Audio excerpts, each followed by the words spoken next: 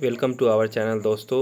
तो आज जो ये वीडियो है सेंट्रल बैंक ऑफ़ इंडिया की जो वैकेंसी आई है सफ़ाई कर्मचारी और ऑफ़िस असिस्टेंट के लिए या अधीनस्थ कर्मचारी 24-25 के लिए तो इससे पहले वैकेंसी 2023 में आ, आ चुकी थी तेरह सात 2023 को और ये वैकेंसी कैंसिल हो गया था।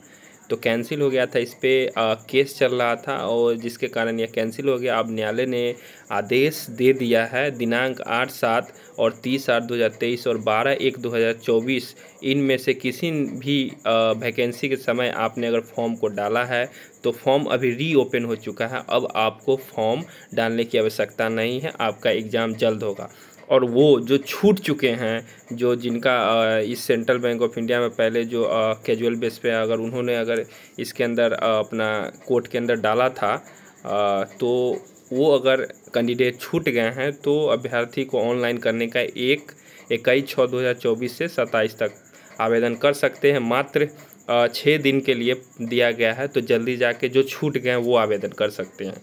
तो ये काफ़ी बड़ी थी कि जो तेरह सात दो हज़ार तेईस में जो बच्चे आवेदन किए थे, उनका पैसा नहीं आ रहा था, अब डायरेक्टली एग्ज़ाम होगा। एग्ज़ाम डेट भी मेंशन किया हुआ है, जो कि आपको जल्द ही होगा। उन्नीस बारह दो हज़ार तेईस को पहली एडवर्टाइजमेंट आई थी पिछले साल।